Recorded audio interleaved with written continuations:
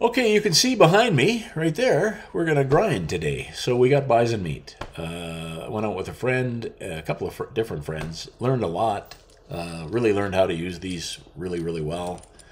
One of my, uh, one of the guys I go out with is a sheep hunter, and he's just spots game like crazy. So I got some, little bit of video, some of the stuff we saw.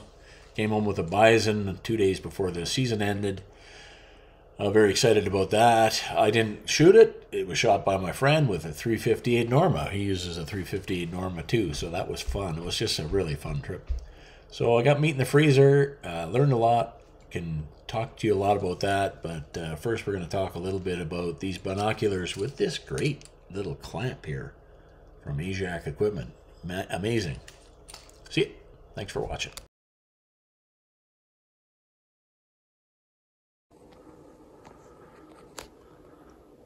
Uh, the more I use these 10 by 32 Swaro ELs, the more I just like them a lot. They were really fantastic for bison hunting. And, you know, put on with his Aziak uh, adapter that goes over one barrel and uses this uh, Swiss Arca system, which is what I've used and with the two power Vortex doubler, I'm getting a, it's now a 20 power um, spotting scope that can resolve one more line than my old 20 by 50, which is a Leupold instrument.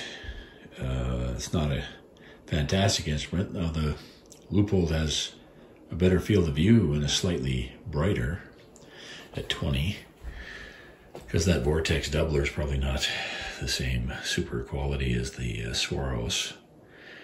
But uh, damn, that actually makes me think that even for scouting trips, this 20 by 50 might be getting pretty lonely because that's about 18 ounces. And I think that adapter is four or five. I'll put it in the description. So I'm saving 10 ounces, 12 ounces and I'm getting an instrument that's uh, just as precise, more precise, maybe not quite as good a field of view, uh, and equal eye relief. So pretty good. These 10 by 32 ELs are turning into one of my favorite things.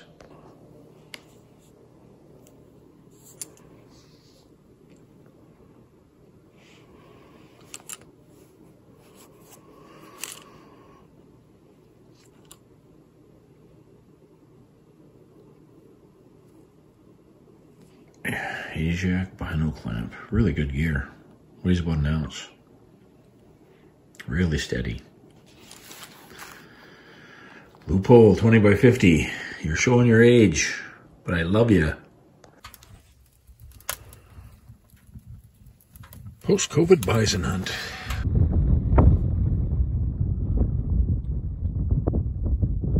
Our little otter. Right there. Who needs a spotting scope, eh? You can just carry this box with you.